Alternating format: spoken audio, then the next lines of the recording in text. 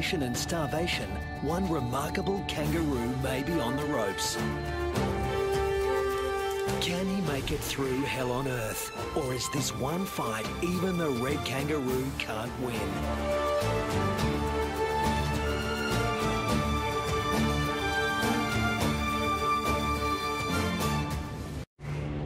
Australia, the oldest continent on the planet. Almost three quarters of it looks like this.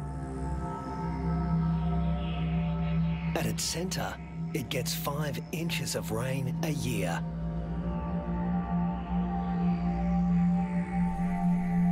The mercury can hit 110 degrees Fahrenheit. But the hardest part for those who live here is the climate's unpredictable personality. This is a place where there are no true seasons, only moods.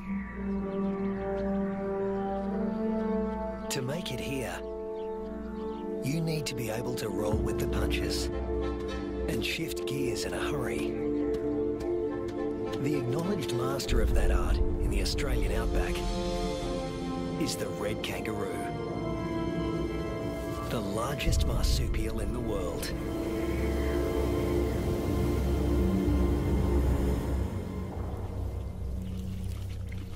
This female is pregnant. Red kangaroo females are almost always pregnant. They've evolved to adapt their reproductive systems to the unpredictable whims of the environment.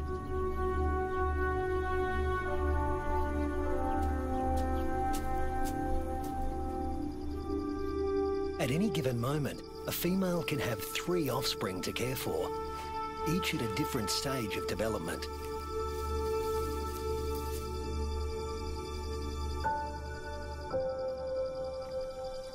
This is number one, the peanut. After 33 days developing in the womb, the newborn emerges as a blind, hairless, pink creature, roughly the size of a peanut. We call him Rusty. There's virtually no sign of the powerful hind legs we all associate with the kangaroo. He uses his arms to make the grueling trek up the belly to his mother's nipple, guided solely by instinct and smell.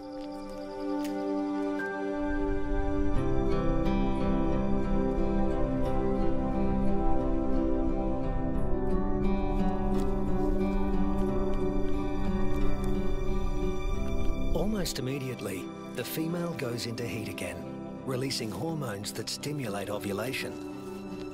Once fertilized, the mother's endocrine system puts the development of this new embryo on hold. That's number two. Its progress won't be kick-started again until the peanut reduces his suckling. Number three is the Joey, who's spending some time suckling from outside the pouch and some out on his own in the big wide world.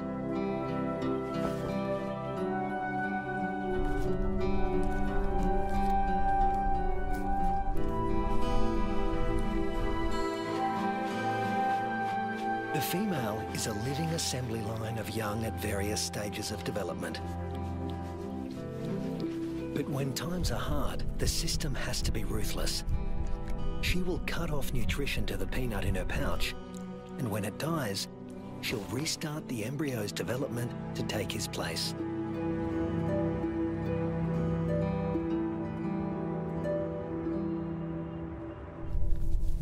Rusty's developing nicely.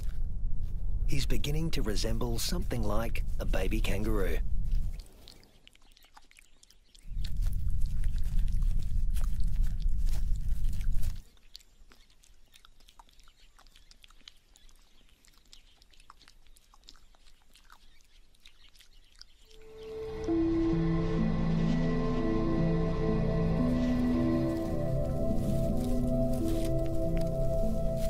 Now three months old, he can hear all the sounds of the world he'll soon be inhabiting. It's all so unfamiliar. It's not surprising he'd prefer to stay in the pouch for just a while longer.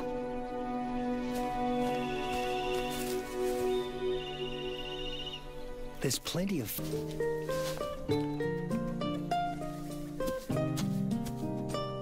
But Rusty's not the only one in the neighbourhood with a serious set of legs. An emu, the biggest native bird in Australia, announces his arrival.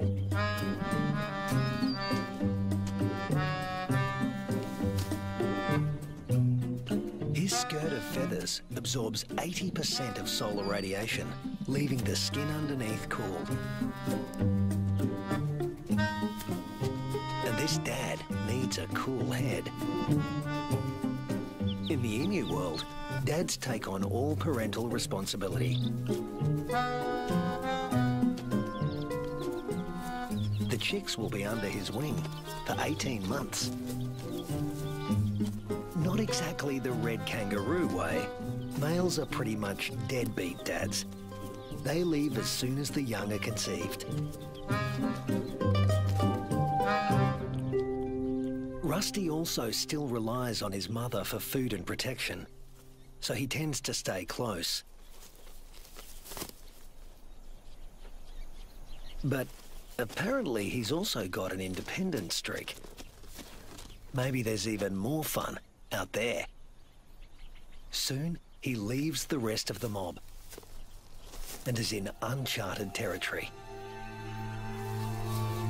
Not a good place for a baby kangaroo to be.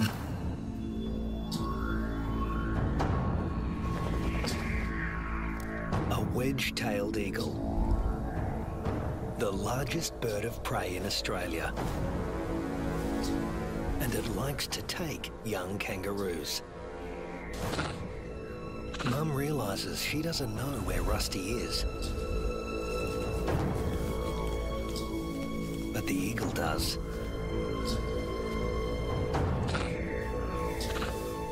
Rusty's big ears and instincts tell him something's not right, but he's too young and inexperienced to know what it is.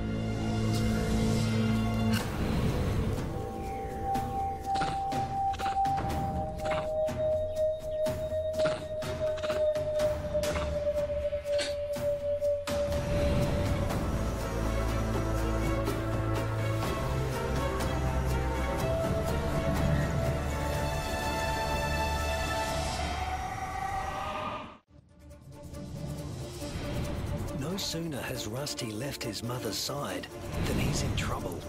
With the bone-crushing power of her talons, the eagle could seize Rusty and drag him to his death. But suddenly,